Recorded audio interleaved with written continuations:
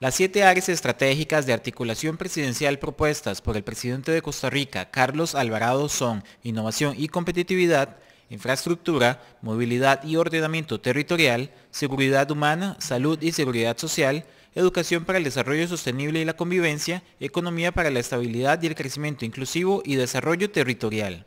Por supuesto que la tarea ahora es eh, eh, reconstruir eh,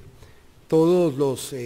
todas las condiciones, construir las condiciones para impulsar una reforma de Estado que esté por encima de las diferencias entre puntos de vista y partidos políticos.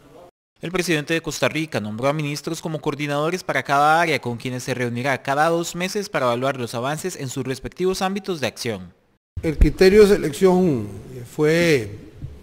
reconocimiento de la participación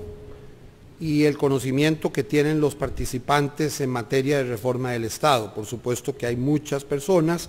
que tienen esas condiciones y al final se busca también eh, tener la mayor representatividad entre los objetivos de esta iniciativa se encuentran la generación de empleos, mejorar la competitividad, la planificación urbana, desarrollo de infraestructura vial, fortalecer la seguridad social, la seguridad ciudadana, promover la sana convivencia, la estabilidad económica, entre otros.